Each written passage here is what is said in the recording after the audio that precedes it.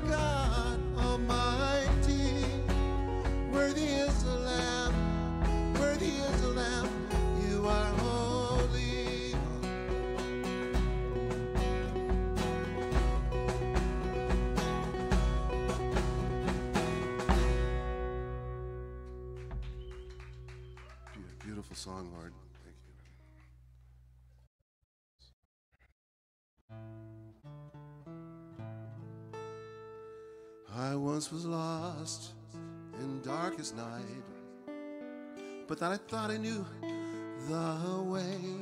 The sin that promised joy in life had led me to the grave. I had no hope that you would own, rebel to your will.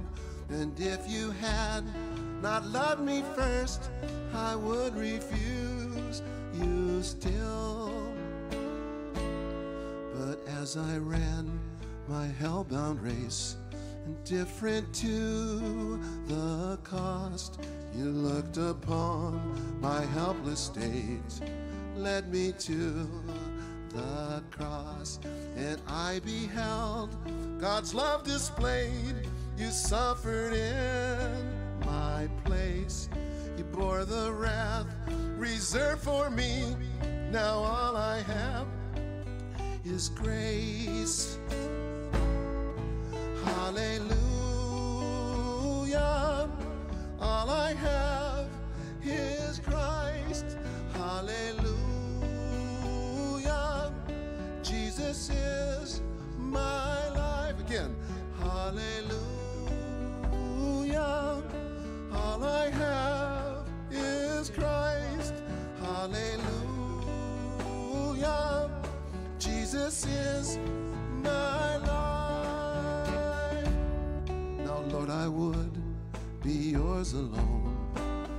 so all might see the strength to follow your commands.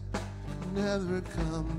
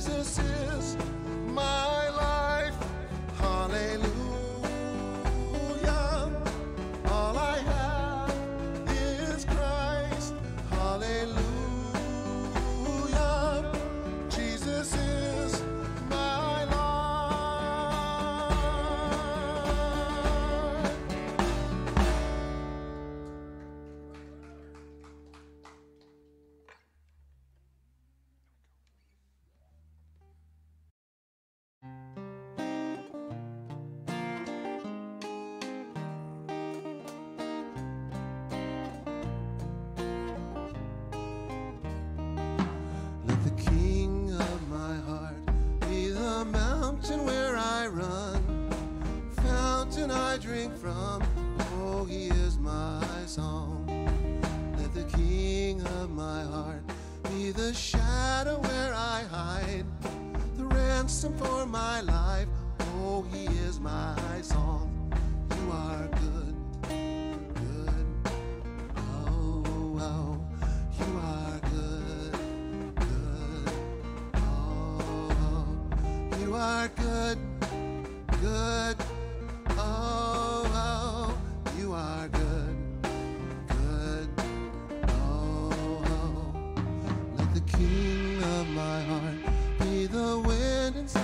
my sails, the anchor in the waves.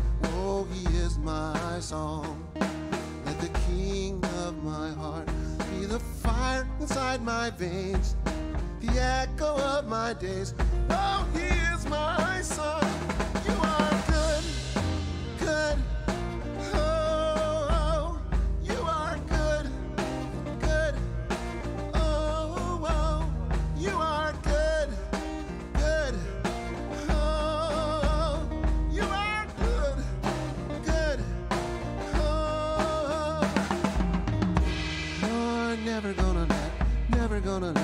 Down. You're never gonna let, never gonna let me down. You're never gonna let, never gonna let me down. You're never gonna let, never gonna let me down. You are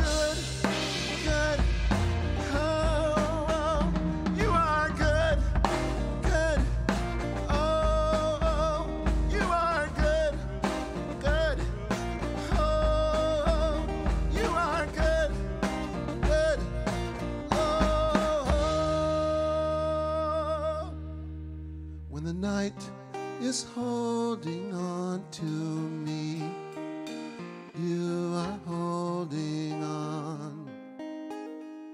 When the night is holding on to me, God is holding on. Thank you, Lord, for this beautiful day you've given us. We have fall coming in, and everything's changing a little bit, Lord, and the wonders you put on the planet for us, Lord. I mean, how can you deny that you are real? The moon, the stars, the sun, the leaves, the trees that are so beautiful, Lord. Thank you so much for all you've given us. Thank you so much for our families, our friends, and this church, Lord, that does amazing things, Lord. We love you so much, and we pray this in your precious Son, Jesus' name.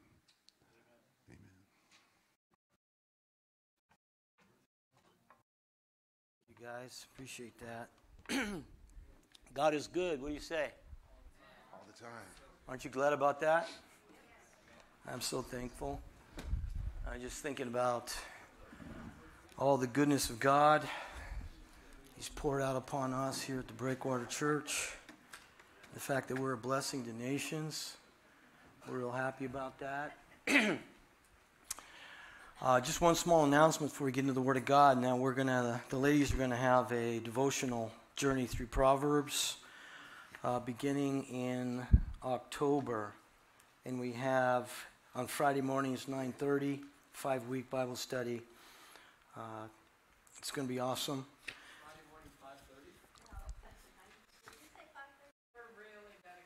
9.30.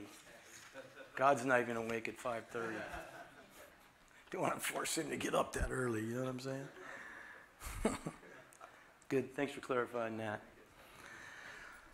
Okay, let's get right into the Word of God, shall we? Let's have some, some manna from God. We are in uh, Matthew chapter 3. If you got your Bibles, you can open up to that. That would be awesome in our journey to better understand the life and teachings of Jesus, the Messiah, the most significant person that ever lived. As we've noticed before, if you've been here, the four Gospels begin with the prophetic declaration of by John the Baptist about the ministry of Jesus Christ. And we said in any piece of literature, there are times, contexts, and themes that set the frame for everything else that, that comes on. For instance, Sherlock Holmes, what do we know about him? He's an English detective, late 1800s, London. It's going to be a murder mystery, right? So you can't look at Sherlock Holmes and go, why are people riding horses? Well, it's because it's 1800s. So this is the same with the case of John the Baptizer. He comes, he makes prophetic pronouncements, he introduces Jesus as Lord, he preaches repentance, the confession of sins, water baptism, and spirit baptism. And so this sets the framework for the life and ministry of Jesus Christ, but it's also everything that the entire New Testament is all about. Repentance is what? What does he say? Bring forth fruit that shows you've truly repented. Which James would say, faith without works is dead. All of that that has to do with showing a life of repentance. Water baptism is very significant, isn't it? If you haven't been water baptized, come see me. We'll baptize you. And spirit baptism, which is for power and fire, is for works of service to the kingdom of God. But John also sets a time marker for the prophetic timeline. In other words, what time is it when Jesus comes? It's judgment time. Each of these components have an Old Testament fulfillment to them. Jesus is downstream from the law and prophets. When Jesus comes, Judaism is in full bloom. The temple's just been rebuilt, beautified by King Herod. You might say it's the high point in Jewish history. However, from this point on, it's downhill. And so we looked at these, these uh, four. We've, we've pulled them out of this portion of John's uh, preaching John the Baptist, Johnny B. Repent, that's typical Old Testament prophetic message. This is the one who was prophesied to come by the prophet Isaiah. The voice of one calling in the wilderness, prepare the way of the Lord, Isaiah 40, verse 3. The word Lord there is Yahweh in the Old Testament. He's declaring Jesus to be that Lord. I baptize you with water. He baptized you with the Holy Spirit and fire. As far as I know, water and fire are two different things, two different baptisms. We have the four cornerstones. But there's one important time frame consideration that must not be overlooked or minimized as we work our way forward through Matthew's gospel, deeper into the gospel narrative. Are you ready for it? Ready? Okay, let's look for it, shall we? So, in this same little section, the Pharisees and the Sadducees come to where John's baptizing in Jordan River, and he says to them, Welcome, friends, it's so good to have you here. So welcoming, isn't he? You brood of vipers. Who warned you to flee from the coming wrath? Produce fruit in keeping with repentance. Don't think you can say yourself, we have Abraham our father. Don't think that your election in Jacob is an automatic pass to heaven. The axe is already at the root of the trees. Every tree that doesn't bear good fruit will be cut down and thrown in the fire. God's no respecter of persons, is he? Who is this audience? This is the chief leaders, the religious leaders, and civil, civic leaders in Israel. Okay? He's not anti Semitic, he's anti sin. Yes. It's very important. You, you can separate between those things. All right? It's extremely important. All of sin and fall short of the glory of God right? We're all a part of this. We all need to repent. We all need to confess our sins. We all need to be water baptized. We all need Jesus as Lord and Savior. We all need baptism of the Holy Spirit. So we just can't point our fingers at them. These are bad guys. Okay? We're, we're all in this same boat. We want to be fruit bearing trees, do we not? Yes. Absolutely. Jesus said, The kingdom of God will be taken away from you and given to the nation to produce the fruit of it. We want to be that fruit producing nation. The axe is already at the root of the trees. That's not good news. None of this is happy talk. His winnowing fork is in his hand. His threshing floor will be cleared. He's going to take the wheat into the barn and burn up the chaff with unquenchable fire. Jesus is coming. John the Baptist is preaching. The Pharisees and Sadducees come to where he is. They're coming to check him out. They don't want to be baptized. This is a government shakedown. You with me? And yet, John rails on these guys without mercy. All this harsh language brood of vipers, coming wrath, uh, axe to the root of the trees, winnowing fork. This is not Hallmark card happy talk.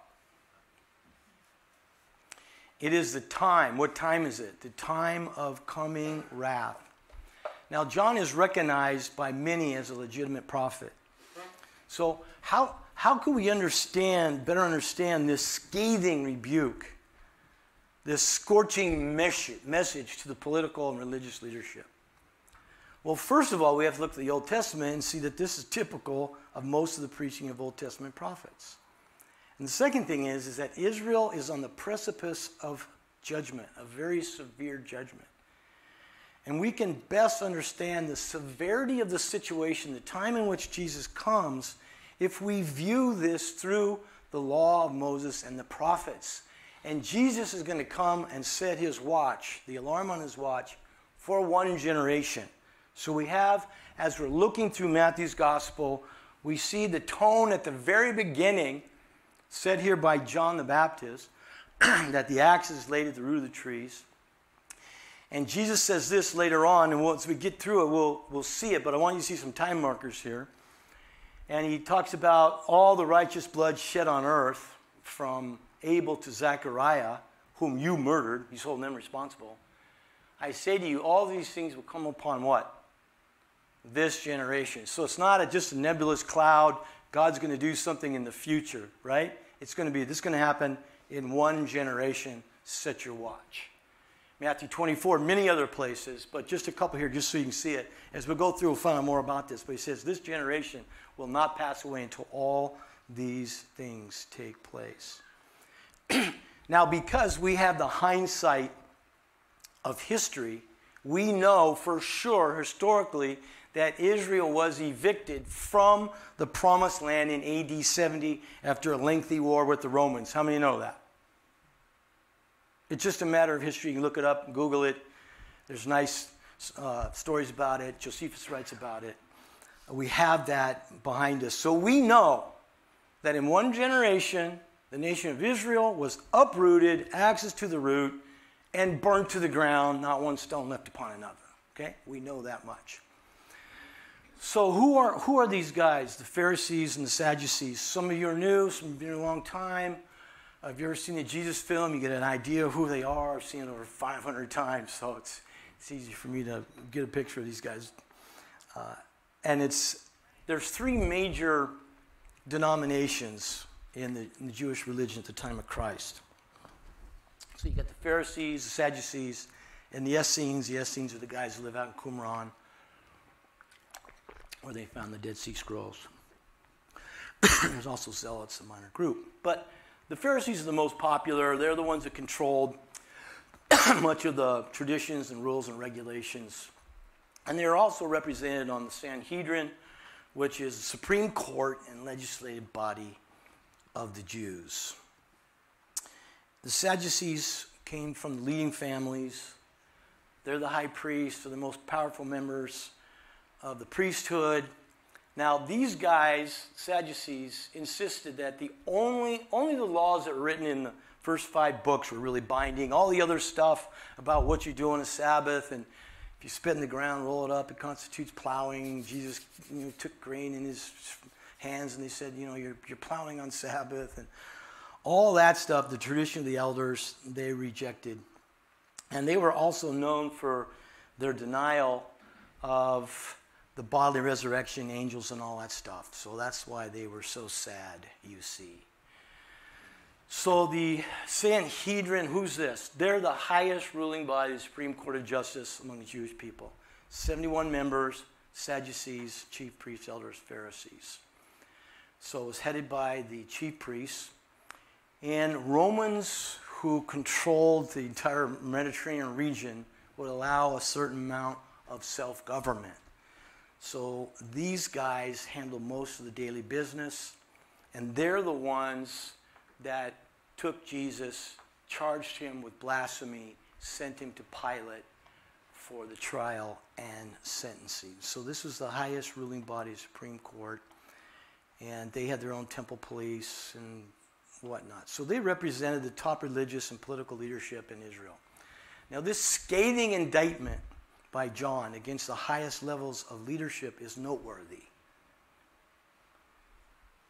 just because you're in a lofty political position, just because you hold high positions in religious hierarchy, doesn't make you free or impervious to corruption. What do you say?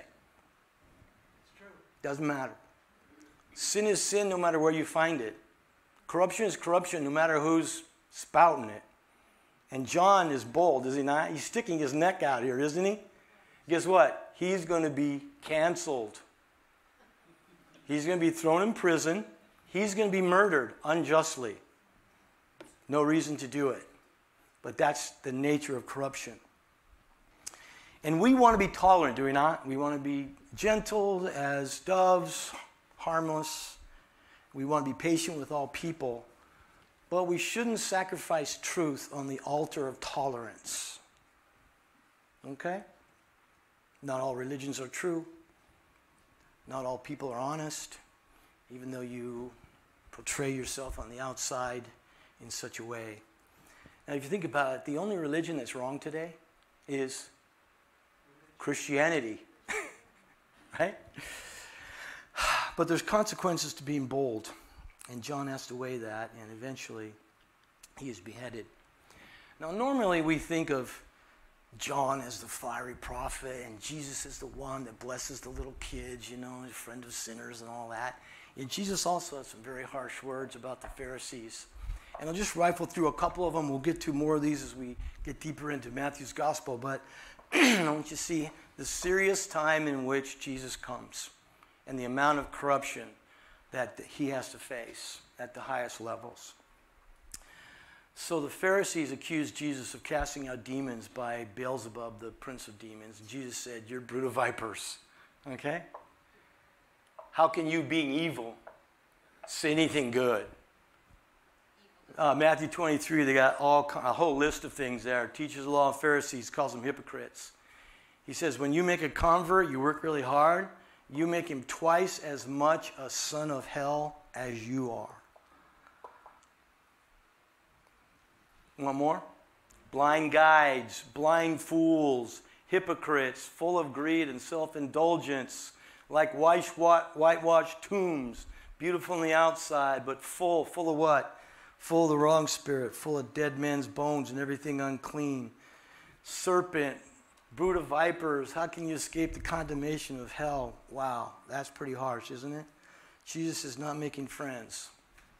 But he is speaking the truth, is he not? Sticking his neck out. For the record, the Greek word for hypocrite is used 17 times in the New Testament. In Matthew's Gospel, 14 times. Mark once, Luke three times. So the Greek word for hypocrite, we've heard a lot lately about it, but it just means actor. That's all it really means originally. It was just someone who's pretending to be someone else in the theater. That's all it was.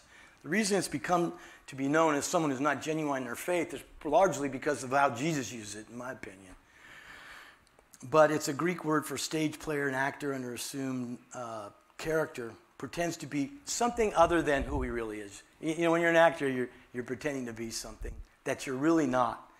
And so it was a custom for uh, Greek theater for them to wear masks and to speak through these masks.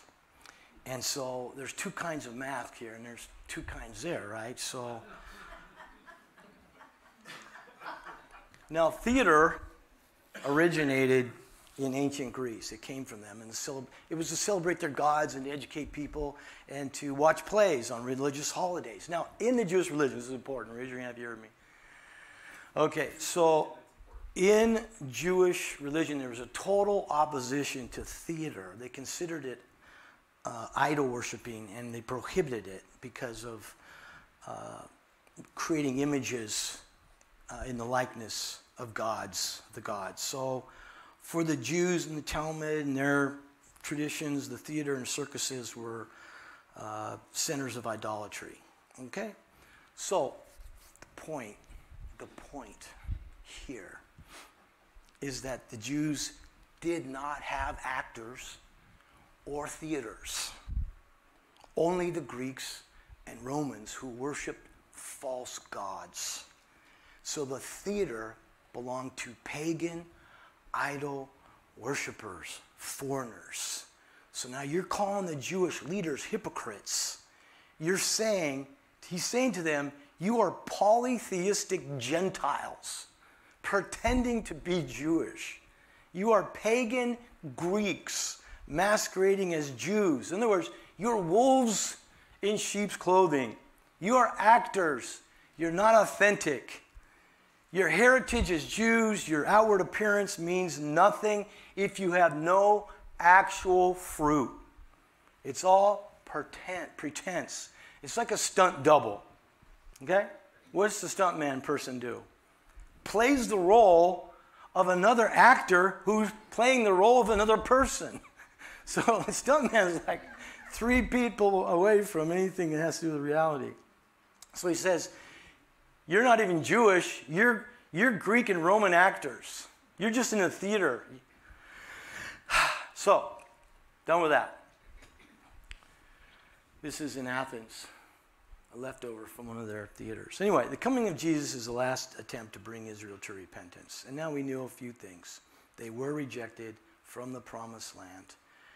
And many of the teachings of Jesus as we go through will have to do with this impending wrath. So we'll see Jesus giving different teachings as we go through, and we will want to know how to understand those hard things. In order to do that, we have to go back to the law and prophets. That's what we should do. So it's my contention that Jesus is the last Old Testament prophet. Okay? Now, on the theology test, that would be the wrong answer. But I'm going to try and convince you today this is the right answer. There's 16 prophetic books in the Old Testament. They come from a narrow time frame, from Amos to Malachi. In this prophetic period, if you read through anything in the Old Testament, it's always pretty harsh. And it basically focuses on the fulfillment of the bad news as described in the covenant, covenant of Moses given on Mount Sinai, Deuteronomy 28 to 30. Everybody should read that as a background for understand what's happening in the New Testament. So if you did anything else next couple of days, read through Deuteronomy 28, 29, 30. And so when we read through the teachings of Jesus, we'll see that reflected and taken directly from there. So we know that in the Gospels, John the Baptist is considered a prophet. Jesus is considered a prophet by many people. And yet we're taught by experts to interpret the message through the paradigm of the new covenant. What's paradigm? It's a system. In other words, when we think of Jesus, we think of him as new covenant. For instance, one of my favorite people, Gordon Fee, Douglas Stuart. How to Study the Bible for All It's Worth. It's a great book. Everybody should get it. It's still in print. but they say the law and the prophets came to an end once John the Baptist began to preach the new covenant. Drink to that.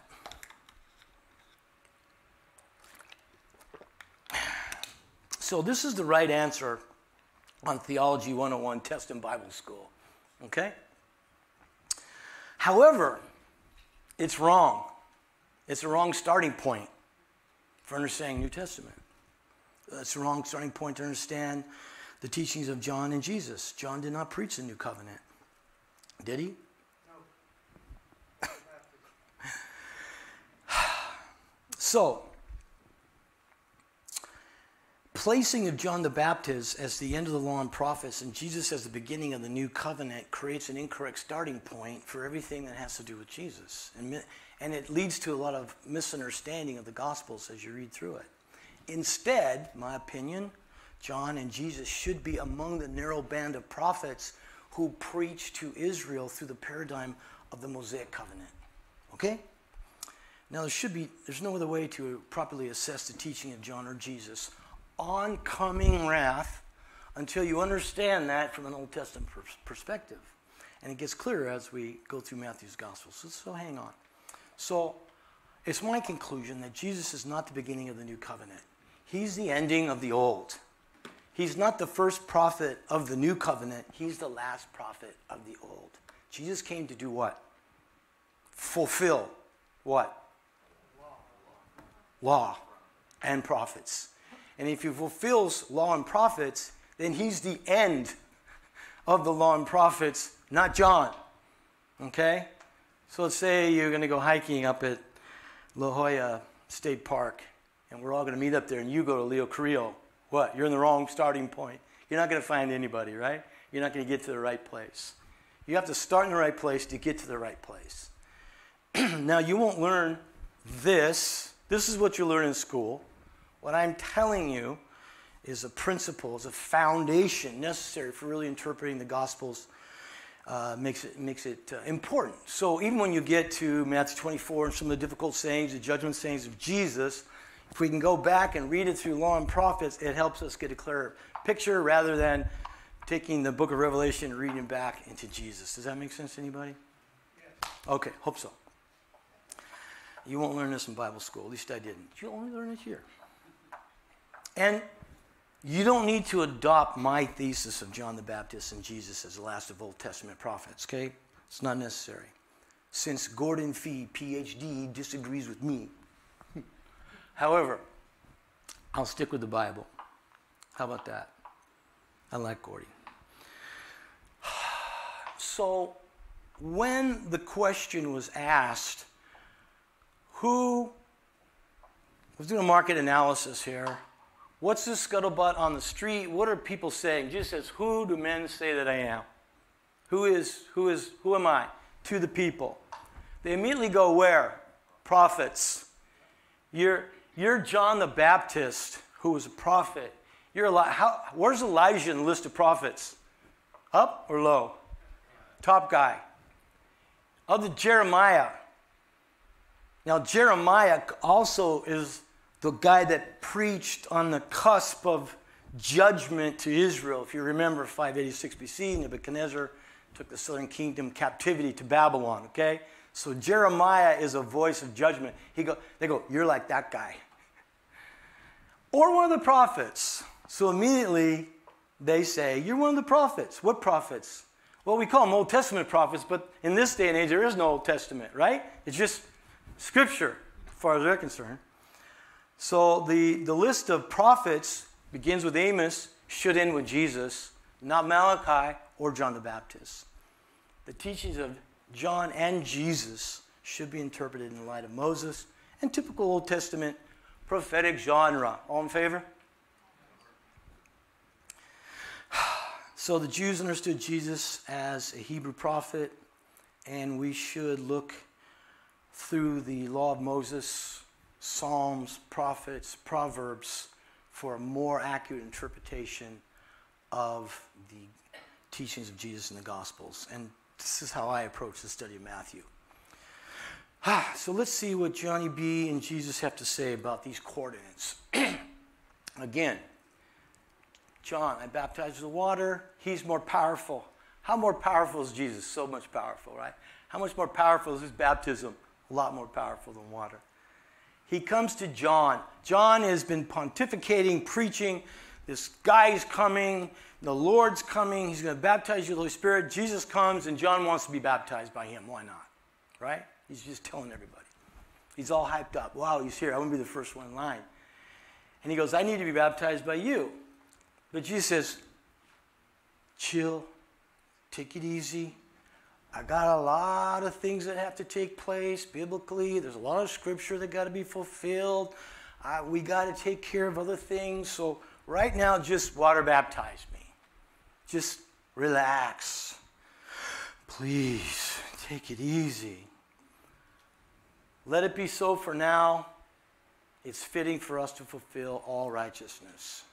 Do I have this? Yeah, all means what? All means all. Every kind of, all sorts of. He's come to fulfill, which means to cram it to the top, make it complete, bring it to a completion. Nothing lacking, full measure, complete in every particular way. Jesus says, I've come to fulfill all things. Matthew 5, just jump ahead real quick. He says, I didn't come to abolish law and prophets. I have come to fulfill them. Okay? Same word. He says, Not one single small jot or letter, stroke of a pen will disappear until what? So what's Jesus? He's in a law and prophet fulfillment mode. And when he's called upon to explain his actions, where do they go? Old Testament in Matthew's gospel in particular, how many times does it say in fulfillment of what the prophets say, in fulfillment of what the prophets say, just over and over again? So Jesus didn't come after the law had stopped. He came to complete the whole thing and to bring it to an end. Nothing will be abolished, nothing will disappear until everything is accomplished. Jesus came to fulfill even the smallest little digit of the Mosaic law and the prophets law, prophets. Just to show you a little bit more of this. After his death and resurrection, his whole life, all his ministry, Luke 24, he gets his people together and he says, I already told you all this, but I'm going to tell you again, right? Everything must be fulfilled that is written about me in the law of Moses, the prophets, and Psalms. The law, the prophets, and Psalms. So, when was the law of Moses terminated, or the old covenant that relates to Moses, that covenant? When was that? What do you think? Remember when Jesus says it's finished? Where was, where was he when he it's finished? It's on the cross. Yeah, it's finished. Check it out. Knowing that what? All was now finished he said this to fulfill Scripture I thirst. Received the vinegar. He says, Now it's finished. It's all done. Done it all. It is finished. So many things wrapped up in what is finished there. The payment for sin is finished. the covenant. Colossians chapter 2, you're dead in your sins. Were we dead in sins? I don't know. I was pretty alive to sin when I was a sinner. Yeah, sin was my life. Buy it, sell it. I'm lucky to be alive. God made you alive with Christ. If Christ is in you, there's a new life that's in you. Okay? It's a life changing life of the Holy Spirit. He forgave all of our sins. I had plenty. He can have them all. But check it out. Not only did God forgive our sins, but He canceled the written code with His regulations. What is He talking about? All that stuff, right? All the things. And what it, where did this happen? It was on the cross. And He disarmed powers and principalities, triumphing over them by what? Triumphing over them by the cross. And He goes to list some of the things that have been done away with and canceled that were a part of the written co- code, which were enlarged by the Talmud and all those sorts of things religious festivals, new moons, Sabbath day. These are shadow of the things that were to come. The reality is found in Christ. Christ is a reality. Aren't you glad about that? Hallelujah. All of that done away with. He himself is our peace, talking about Jesus. He abolished in his flesh the law with its commandments and regulations. And his purpose was to create in himself one new man out of the two and to reconcile them to God through what? Through the cross. Abolished the law through the cross. And this could go on and on forever, but we won't. What does the Bible say? Christ is the end of the law. It's hard to disagree with that, you know what I'm saying? Eh, pretty, pretty straightforward. Jesus came to put an end to the law of Moses and to fulfill and finish all the terms of the Sinai covenant. He brought the end to the law by his death on the cross. Up? Up, up, Jesus? Yeah. All right, here's the book. Law and prophets came to an end. John the Baptist. Christ is the end of the law. Law and prophets came to an end with John the Baptist. Whoops. Show me one verse in the Bible where John the Baptist preached the new covenant. The placing of John the Baptist as the end of the law and prophets and Jesus as the beginning of the new covenant is an incorrect trailhead. Distorts our understanding of the gospel, makes it much more difficult. I've been at this a long time, and if any of you have given up trying to understand theology, it's partly due to the fact that we have the wrong starting point. Jesus should be considered the last of the Hebrew prophets. He's the end of the law, not his cousin John.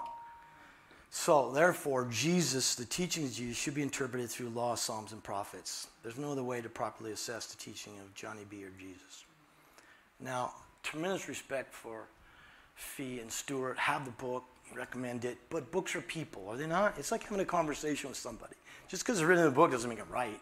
You know, you could, when you talk to people, you have a little give and take. So when I read a book, I go, yeah, it's okay, this is good. No, no, no, I don't agree with that because of this and that and the other thing. There's actual science to this, right? There's actually some energy that needs to be put into reading books and commentaries and, and understanding how to interpret Scripture. And this is a very important principle that will help us as we go through here. So the New Covenant didn't begin with John the Baptist. It didn't begin with the birth of Jesus. It was initiated by his death and the coming of the Holy Spirit in power in Acts chapter 2. Everyone agrees that's the birthday of the church, the beginning of the new covenant. So, how can John be the end of the law and the Holy Spirit come here? And where's Jesus? He's like mush in the middle or something. so, I'm going to trust Christ before commentaries. Now, the first place in any of the Gospels where there's any mention at all of a new covenant is at the Last Supper, which you'd expect it to be now that we know, right? So Jesus said, It's my blood that ratifies this new agreement, because covenant just means an agreement. We had an old agreement at Mount Sinai, it's come to an end with the shedding of his blood. My blood now ratifies the new one. And it's shed on behalf of many so that they can have their sins forgiven. That's why. That's what his death is all about. Luke says, This is the cup that's poured out for you. It's the new covenant of my blood. That's why we're so thankful for the crucifixion of Jesus Christ. The, the, the bread represents his beaten, broken, crucified body. The wine represents his blood, which is soon to be shed on the cross. This is an agreement. So we agree to give God our sins. He agrees to give us forgiveness. We agree to serve him and bear fruit. Right? That's our agreement. How many agree? That's what Holy Communion is about. When you take Holy Communion, you say, I'm agreeing that Jesus died for my sins and that I am committing myself to serving him in my generation. What a significant event that is. Do you know what an honor and privilege it is to know Jesus Christ as your Lord and Savior? Of all the people in the world, billions of people in the world, we have this treasure in this earthen, earthen vessel. Whew. We're going to live forever with Jesus. Wow. So the new covenant is going to replace the Mosaic covenant, rendering. And where's that promised? In the Old Testament. We'll take some time to look at that. Not today. Jesus shed his blood for many. Did he share his blood for you? Absolutely. Is it, is it still powerful today for the changing of hearts and lives? Can it take the worst criminal and turn him into a saint? After his death and resurrection, he met with his people again. He opened their minds so they can understand Scripture. Notice it's not Old Testament. What do they call it? The Scriptures. There's no New Testament. Okay? It's not old. This is the Scriptures. And he opened their minds. You know, when you get born again, you get the Holy Spirit, it's just like your, your brain is open up to all that God has. It's so incredible. It used to be I lived at billboard level. You know what I'm saying? What's happening on the billboard? Advertisement level, life, right here. But when you get born again, it opens your brain to the God and the cosmic reality that we can walk with the creator of all things. And then there's, there's new life and new energy, new thoughts. It's great. You got to be open minded to God, right? This is what was written The Messiah, the Christ, will suffer, rise from the dead on the third day, and repentance and forgiveness will be preached in his name to all nations. Then he says, I'm going to send you what my father promised.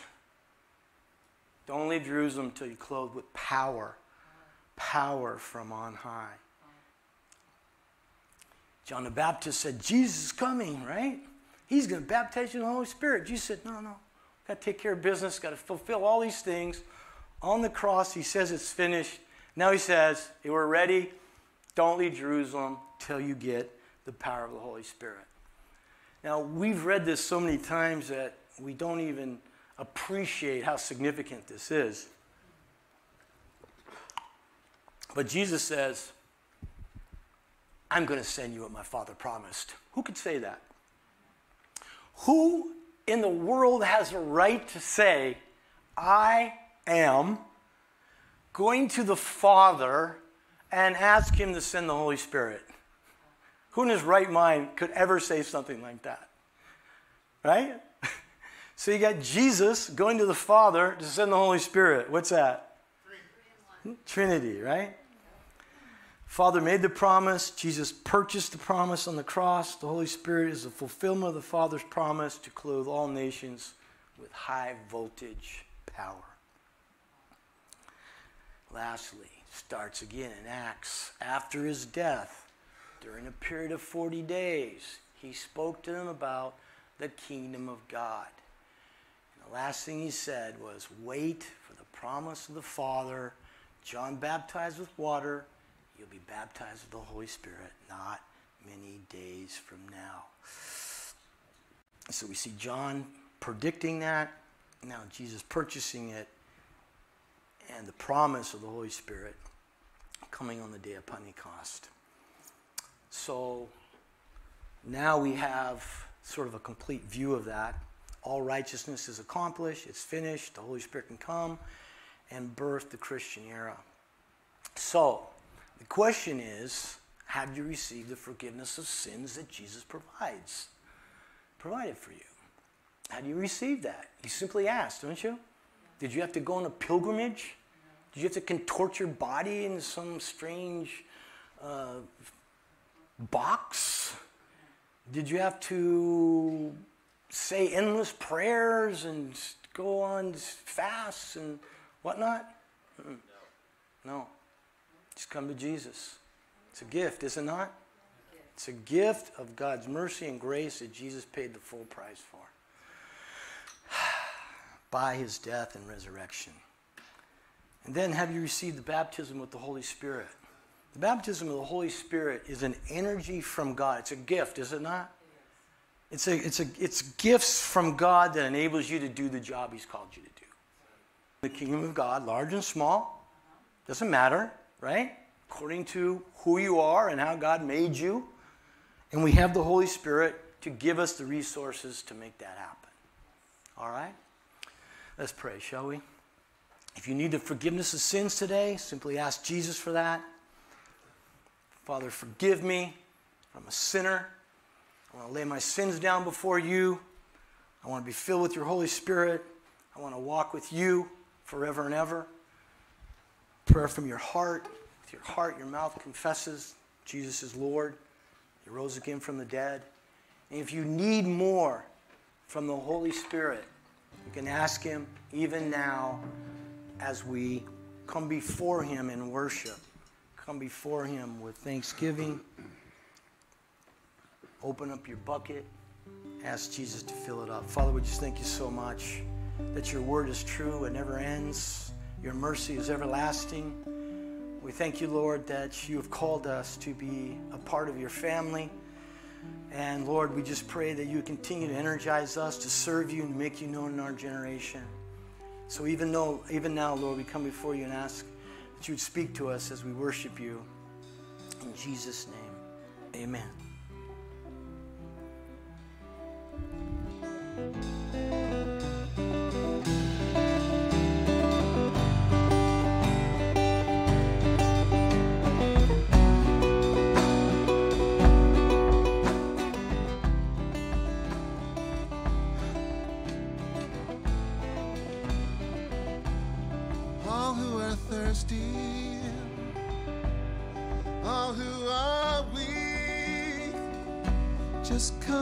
The fountain. Dip your heart in the stream of life. Let the pain and the sorrow be washed away in the waves of His mercy. As deep cries out to deep, we say, Come,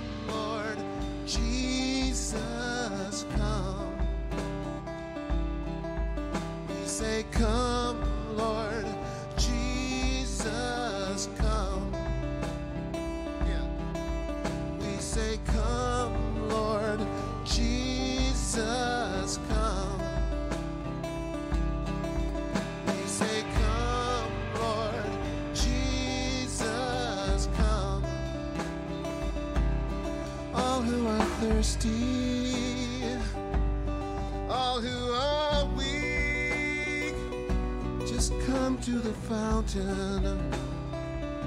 Dip your heart in the stream of life. Let the pain and the sorrow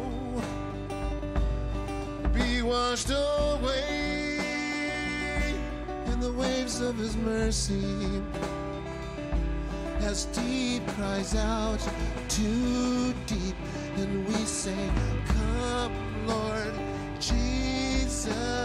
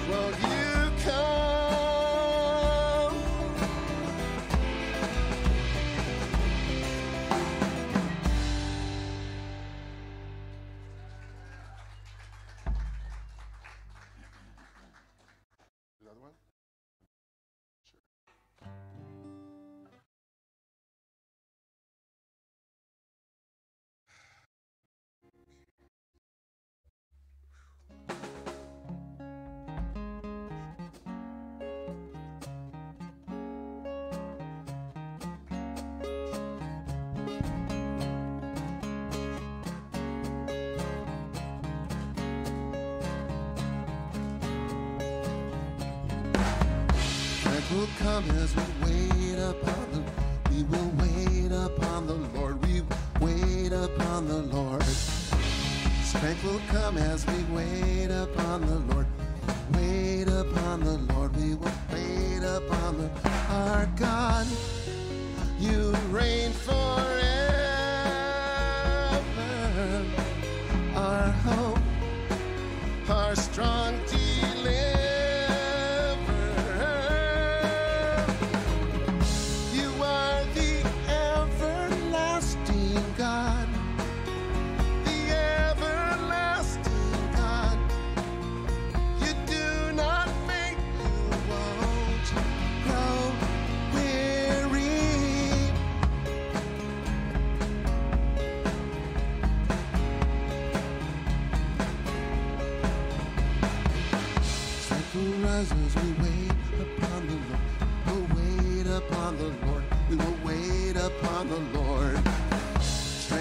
Rise as we wait upon the as we wait upon the Lord. We will wait upon the